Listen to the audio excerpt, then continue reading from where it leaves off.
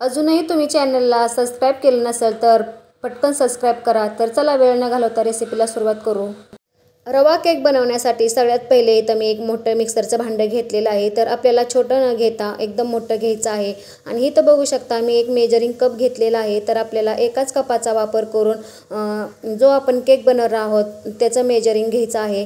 तर इथं तुमच्याकडे कप नसेल तर तुम्ही इथं वाटीसुद्धा घेऊ शकता.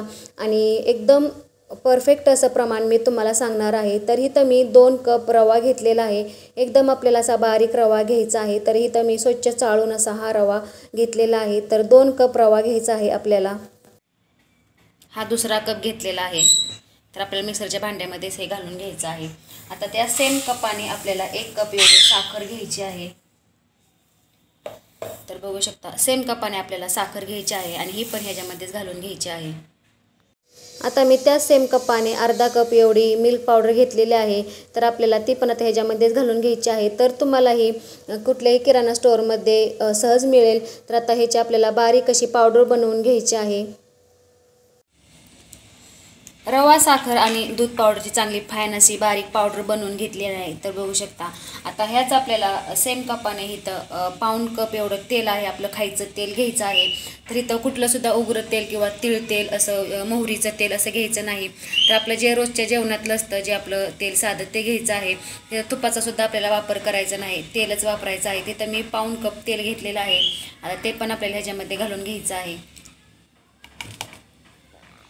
आता सेम कपाने आपल्याला इथं अर्धा कप एवढं दही टाकायचं आहे. तर ह्याच्यातच मध्ये दही घालायचं आहे. तर इथं आपल्याला जास्त आंबट वगैरे असं दही काय वापरायचं नाही. आता हे आपल्याला परत मिक्सरमध्ये फिरवून घ्यायचं आहे. दही आणि तेल घालून झाल्यानंतर फायन अशी त्याची मी पेस्ट बनवून घेतलेली आहे. तर बघू शकता तर आता इथं मी एका भांड्यामध्ये ही जी पेस्ट बनवून घेतलेली आहे ती काढून घेणार आहे. तर आता इथं मी एका भांड्यामध्ये हे जे बॅटर आहे ते काढून घेतलेलं आहे. तर बघू शकता अति आता ह्याची कन्सिस्टन्सी बघू शकता.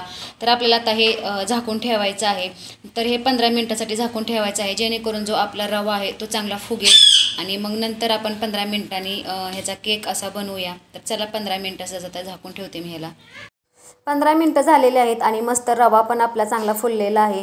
तर आता इथं जरा थोडंसं घट्टसं असं हे बॅटर वाटत आहे. म्हणून इथं मी आता दुधाचा वापर करणार आहे.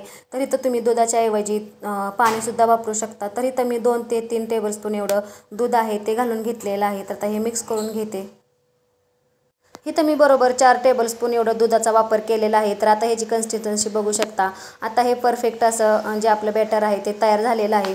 आता ह्याच्यामध्ये आपण बेकिंग पावडर आहे ती घालणार आहे. तर लक्षात ठेवायचं आहे आपल्याला इथं सगळं प्रमाण असं मोजूनच घ्यायचं आहे. तर इथं बघू शकता मी ही बेकिंग पावडर वापरलेली आहे. तर बेकिंग पावडरचा वापर आपल्याला केक फुलण्यासाठी करायचा असतो. तर इथं बघू शकता तुम्हाला कुठल्या पण किराणा स्टोअरमध्ये ही बेकिंग पावडर अवेलेबल होईल. तर इथं आपण एक टेबलस्पून एवढी बेकिंग पावडर वापरलेली आहे. बेकिंग पावडर घातल्याच्यानंतर इथं मी बेकिंग सोडा घेतलेला आहे अर्धा टेबलस्पून जो आपण भजी करण्यासाठी वापरतो तो मी अर्धा टेबलस्पून घेतलेला आहे. तर बेकिंग पाव सोडा आपल्याला फ्रेशच वापरायचा आहे जेणेकरून चांगला आपला केक आहे तो चांगला फुलेल. आता हे जे दोन्ही पावडर घातलेले आहे ते मिक्स करून घ्यायचं आहे.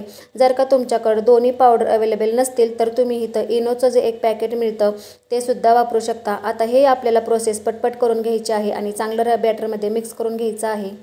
तर बेकिंग पावडर आणि बेकिंग सोडा चांगला मिक्स करून घेतलेला आहे. आता इथं आपण ह्याला शिजवण्यासाठी ठेवणार आहे. तर त्यासाठी इथं मी कुकरचं भांडं घेतलेलं आहे. तर ह्याला मी तेल लावून घेतलेलं आहे. जर का तुमच्याकडे बटर पेपर असेल तर तुम्ही त्याचा वापर करू शकता. आणि इथं बघू शकता मी आधीच हा कुकर प्रिहीट करण्यासाठी ठेवलेला आहे. तर आपल्याला आधीच पाच मिनटं हा कुकर असा किंवा तुम्ही इथं कडेसुद्धा वापरू शकता. ते आपल्याला प्रिहीट करायला ठेवायचे आहे. तर मी इथं प्रिहीट करण्यासाठी ठेवलेलं आहे. आता हे जे बॅटर आहे ते आपल्याला ह्याच्यामध्ये घालून घ्यायचं आहे.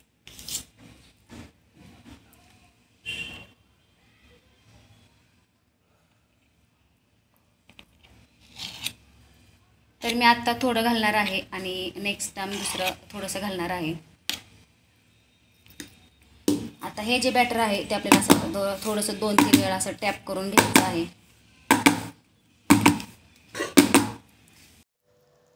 आता ह्याच्यामध्ये मी गार्निशिंगसाठी टुटी फ्रुटी होती माझ्याकडे ती मी घालून घेणार आहे.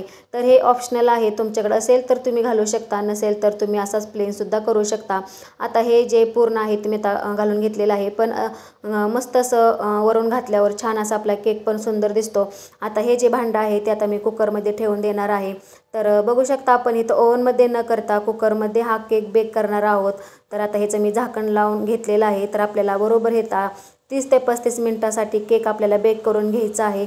तर इथं आधीमध्ये सुद्धा उघडून बघायचं नाही किंवा थोडीसुद्धा हवा जाऊन द्यायची नाही. आणि इथं बघू शकता कुकरमध्ये आपण खाली काही मीठ वगैरे टाकले नाही. जर का तुम्हाला टाकायचं असेल तर तुम्ही टाकू शकता. पस्तीस मिनटं झालेले आहेत आणि मी आता गॅस बंद केलेला आहे. आणि आता मी हा कुकर आहे तो खाली उतरून घेते. आणि आता बघूया आपण केक बेक झालं आहे का नाही. आता मी असं गरम लागते त्याच्यामुळं थोडंसं असं कापडाच्या साईने उघडून बघते. तर बघू शकता खूप छान असा आपला केक आहे. तो बेक झालेला आहे आणि वास तर अप्रतिम येतो आहे मस्त असा बेक झालेला आहे.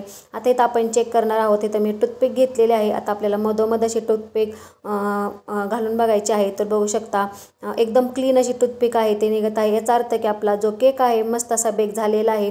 आणि कलरसुद्धा बघू शकता अप्रतिम कलर आलेला आहे. आता मी इथं काढून घेणार आहे आणि आपल्याला थंड करून घ्यायचं आहे. तर पूर्ण थंड झाल्यावर आपल्याला ह्याच्यातून काढून घ्यायचं आहे. तर इथे आता आपला जो केक आहे तो थंड झालेला आहे. आता ह्याच्या आपण अशा कड्या सोडवून घेऊया आधी सगळ्यात पहिले. साईड साईडनं असा आपल्याला पूर्ण असा कडा आहे त्याच्या सोडवून घ्यायच्या आहेत. तर बघू शकता अशा प्रकारे. आता ह्याला आपण एका डिशमध्ये काढून घेऊया. तर बघू शकता मी डब्यातनं काढून घेतलेला आहे आणि मस्त असा स्पॉन्जी झालेला आहे. तर बघू शकता. मस्त स्पॉन्जी झालेला आहे आणि खालून पण चांगला आपला बेक झालेला आहे. आता ह्याला आपण कट करून घेऊया. इथं मी आता एका प्लेटमध्ये तर हा केक आहे तो काढून घेतलेला आहे. आता इथं मी तुम्हाला कट करून दाखवते. तर बघू शकता खूप इझिली असा कट होत आहे तर तुम्हाला इथं समजत असेल की किती छान आपला केक झालेला आहे आणि कट करताना मस्त असा केक कट होतो आहे तर बघू शकता एकदम स्पॉन्जी असा केक तयार झालेला आहे आणि मस्त असा बेक झालेला आहे. तर बिना ओव्हनचा इथं मी केक बनवलेला आहे. तर खूप छान असा झालेला आहे. तर तुम्ही तर कलरसुद्धा बघू शकता. खूप सुंदर असा केकचा कलर आलेला झटपट असा आपला हा रवा केक तयार झालेला आहे आणि एकदम कमी साहित्यात आणि घरच्या साहित्यातच हा रवा केक बनवलेला आहे. ते पण ओव्हनमध्ये न करता आपण इथं कडेमध्ये हा केक केलेला आहे.